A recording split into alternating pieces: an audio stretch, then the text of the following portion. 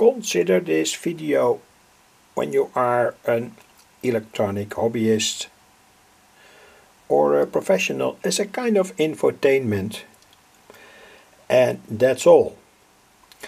I made that Maxwell bridge to bridge uh, higher inductances say for instance this transformer or that one coil, that coil.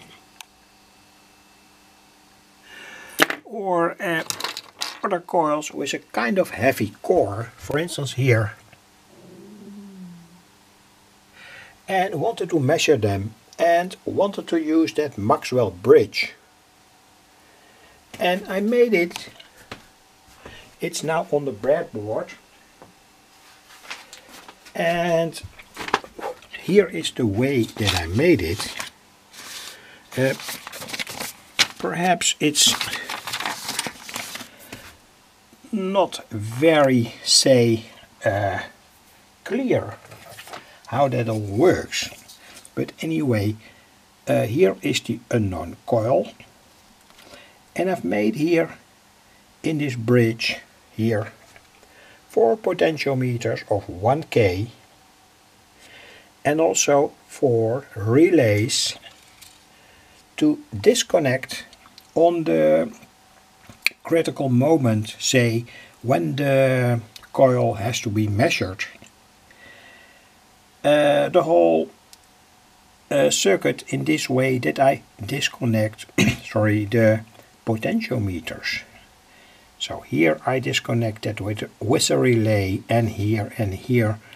And when all is disconnected, uh, you can make electrodes out of these points from the circuit. And I've made them here. All the electrodes that are directly going to the resistors, the potentiometers and um, here is a switch with which I can switch in this capacitor CV and I found in that book a kind of very strange situation uh, because they are talking in that book about this resistor. And I've made that resistor here in that circuit. But I've also made a switch here to bridge one of the, uh, this resistor especially this resistor RX to the coil under test. And here is the coil under test. Crocodile clips. And here this is a simple say 5 volt transformer of which I want to um, uh, measure the inductance and I've done that also with this one etc anyway um, the circuit is here. The relays are driven with this um, DC power supply 12 volt say 1 ampere. The bridge is driven with AC here. And you can see that this uh, red LED lights up perhaps you can see that and driven with here um, 25 volts AC so with this these four potentiometers I can bridge uh, the uh, coil under test the high inductance coil out. And you can see that here. Try to do that. Of course now this, the position is active. This position is not active. All the relays uh, fall back. But now all the relays make contact. So uh, this is the position where we can try to null out that coil under test with its high with its high inductance. Anyway, try that now I'm you have to uh, say change four potentiometers here. To null that out. So that's quite troublesome, but anyway, I change now one, one of the four potentiometers, another one here,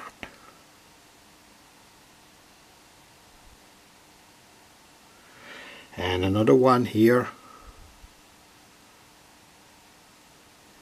and of course the ideal position is where all the say the waveform 50 Hertz disappears. And now the scope is by the way on its maximum amplification. So that's in my opinion a good a good way. Here we have almost a zero. So let's take this for granted and after that uh, move the switch to this position. All the relays uh, fall back. And now you can measure uh, the resistances. And the strange thing is that Rx uh, is not in the formula to calculate the inductance. So that's very strange in my opinion. And here I've made a switch with which you can set all the values of this capacitor CV. I want to demonstrate that. So I can check I can take for CV um, 1 nanofarad 10 nanofarad. And of course, when all the measurement is okay, that's at least my opinion, when I change that capacitor, do the calculations, the inductance of the coil under test must stay the same. But that's a big problem here. Um, when you test a coil, for instance, with a 100 nanofarad capacitor or a 1 microfarad capacitor or a 5 microfarad capacitor, you will see different inductance values. So that's very strange. So there are two problems here. Uh, at first, this uh, resistor is not defined. And the second problem is that when you change that capacitor in the bridge, you read uh, different values for the inductance of the coil under test.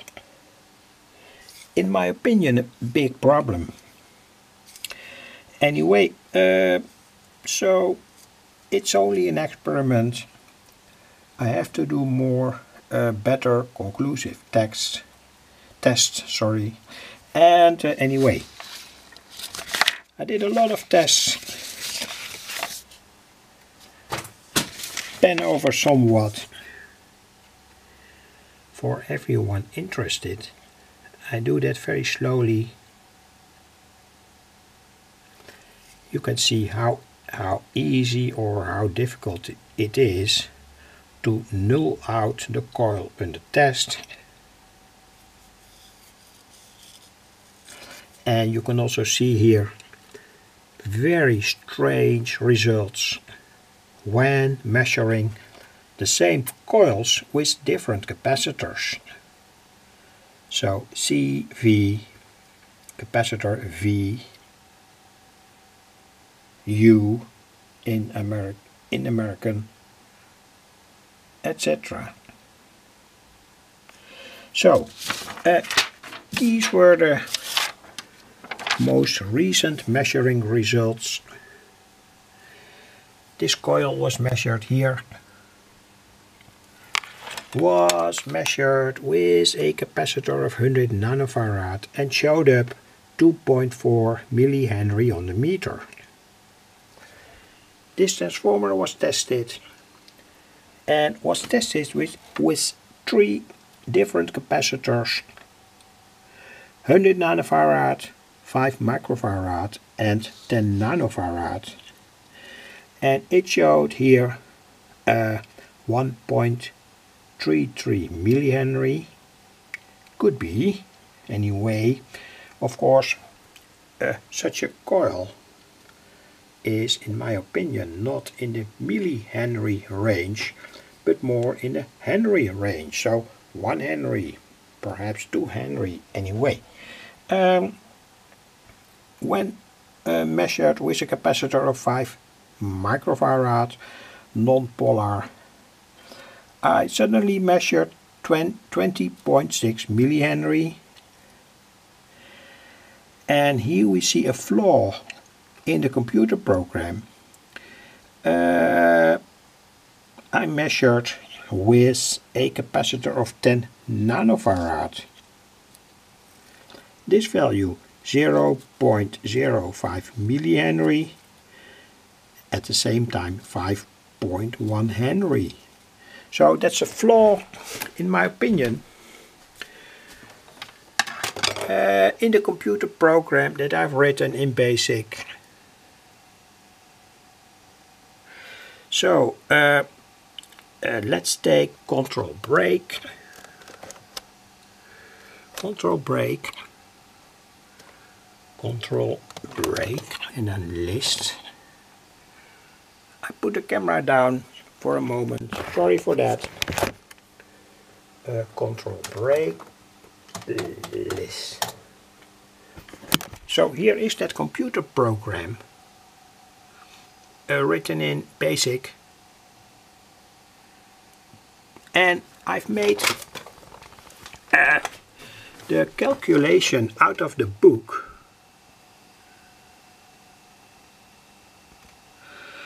and here um, I've made a calculation inductance coil in millihenries that's E after calculation of course.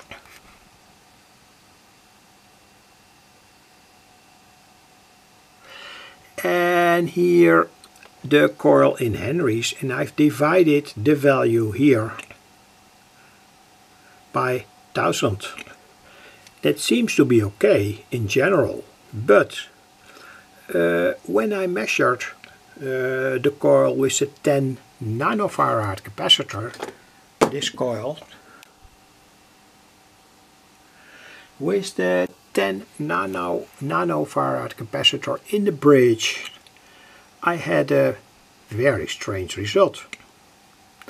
So that's not good. So I have to adapt in my opinion the computer program and also there's still the problem of um, the a certain resistor in the bridge that is not uh, seen in the formula. So,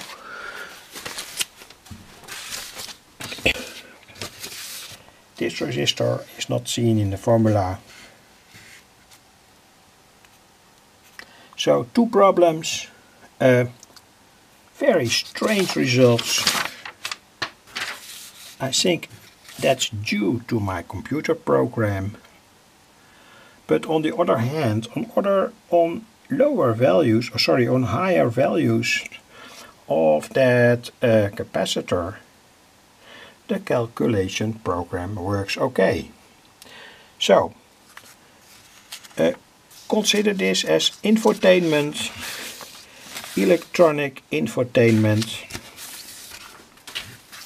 Uh, don't take it too serious only a first ID, say a second ID, to try to find out, uh, to make a Maxwell bridge working